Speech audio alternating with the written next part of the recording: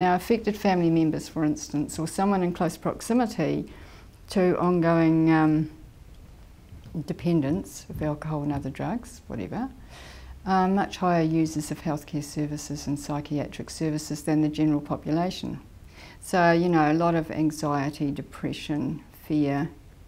And so it's easy to start having that conversation shame, isolation, so with that, it gives people, it oftentimes gives people permission to own that actually I do feel really scared.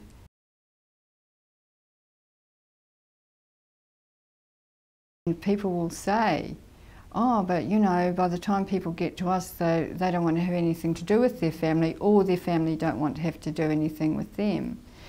Fair enough.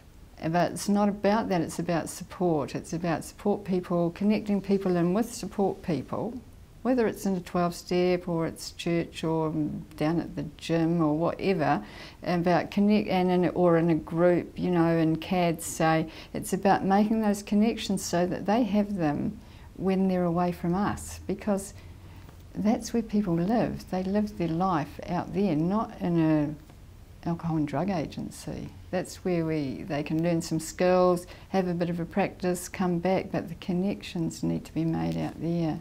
You know, if people are going to start taking some care, then they're going to be able to come back into themselves, intuitively know what to do, because people feel so crazy by the time they get to us that they've lost the ability to make good decisions, they've lost trust in themselves and the other person, they're really lonely, they're really isolated, even though there might be a whole bunch of people around.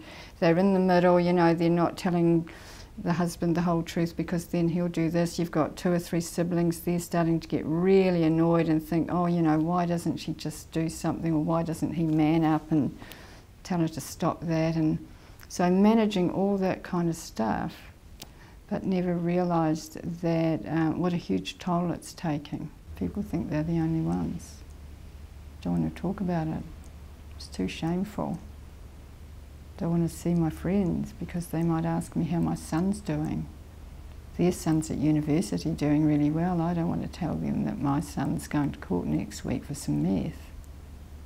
That he's ripped off my um, LCD screen and DVD player. That we can't leave town because we're too scared they're going to break into the house. So how I manage that is I just stop seeing my friends. Desperation gets people in the door because they don't know what to do.